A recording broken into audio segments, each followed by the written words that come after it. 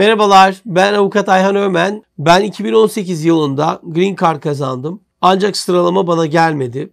DS 260 formunu doldurmuştum. Bir ay önce turist vizesine başvurdum ve bundan red yedim. Bu durum beni sürekli bir şekilde etkileyecek mi? Turist vizesini alamadım. Peki yeniden eğitim için başvursam yine alamaz mıyım acaba diye takipçimiz soruyor. Şöyle söyleyebilirim. Hani kişilerin yeşil kart çekilişi için ön başvuruyor, yapıyor olması çoğu zaman Amerikan konsolosluklarının bakmak istedikleri ya da sordukları bir durum olmuyor. Tabii %100 diyemiyoruz ama eğer kişiye yeşil kart çekilişten çıkmış ise ve sizin gibi ve göçmenlik vizesi için başvuru yapma anlamına gelen DS 260 formu doldurulup sunulmuş ise o zaman artık sizin bir göçmen olma niyetinizi Amerikan konsolosluğu artık görmüş oluyor.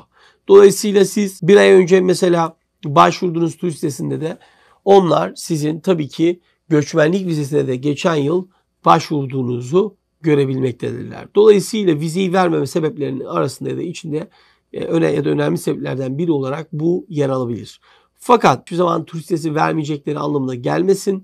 Fakat şu an çok yeni belki hepsinin oluyor olmuş olması onların sizin buraya gerçekten gezme değil göçmen olma niyetiyle geleceğinizi düşünülebilir ve dolayısıyla bu vizeyi vermemede ısrar edebilirler.